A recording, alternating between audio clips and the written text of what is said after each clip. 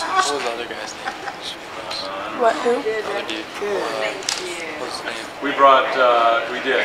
We bought mostly, uh, Kathy did bring one, one three seven five. Oh, yeah. Um, I still, I am still shooting, uh, Mr. B's, uh, seven Seven millimeter millimeter. Weatherby. Weatherby, I brought that over here. I've got my Um, bottle still.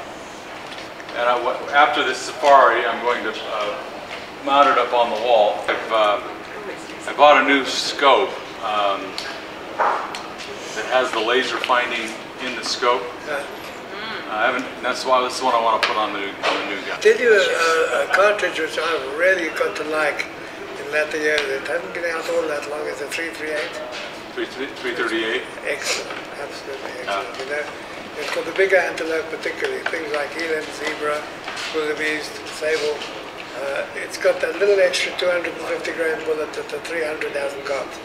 It's an excellent and it's, it shoots really flat. I I really do like the 338. I think it's a fantastic rifle. Uh, If you do think of buying another rifle, Yeah. just check out that 338. Okay. You've got a good range of bullet, uh, bullet weights, from 210 which shoots very flat, Yeah, up to 275. Uh, the 250 is the, is the, is the best weight for the 338. Very nice. Very nice gun. Can't, can't have less. But with a, with a solid, with that 338, I've shot many, many buffalo, no problem with so that. certainly on, I mean, you could shoot it for elk and deer as well. Oh yeah, absolutely. yeah. Yeah, maybe on the lighter. And You've got a very good range of bullet weights for the 338. So has hunting changed a lot since when you took their great-grandfather out? You know, it's much more sophisticated, the camps now. But the hunting is very much the same.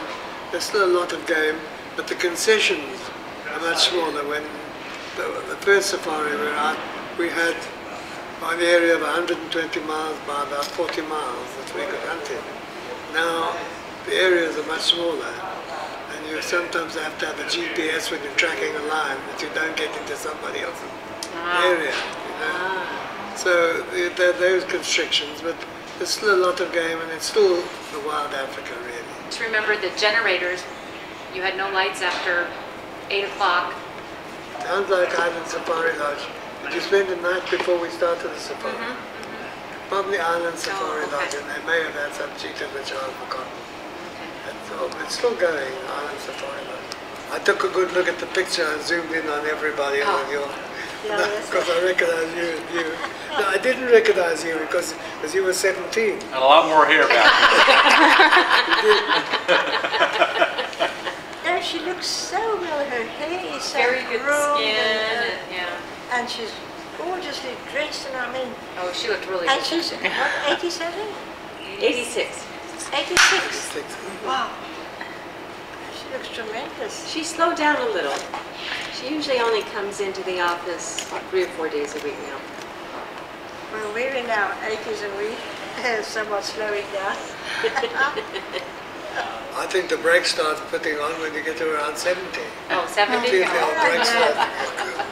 I don't know, 50 is good. I was still hunting it to 75. I Yeah. quit it on 2000 Okay. when this went wrong. I guess, I- and I was just talking to Joe a little bit yesterday. He said if you get up by the headwaters um, in October, you can still do pretty well.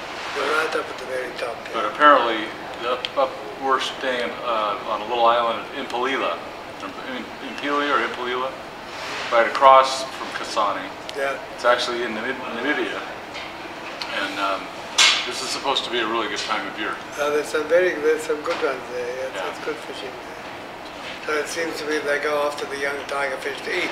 Hmm. And the red and white spoon is you know quite a big spoon, about Yeah. a four inch spoon. I just brought a few things of my own for the fun of it. This is see what that. The um, this uh, woman by the name of Cindy Garrison, who's uh, she's been doing a lot of photography um, uh, and, and fishing photography up here. Uh, because that. Is the one she's the one that, that uh, booked me with Chingo.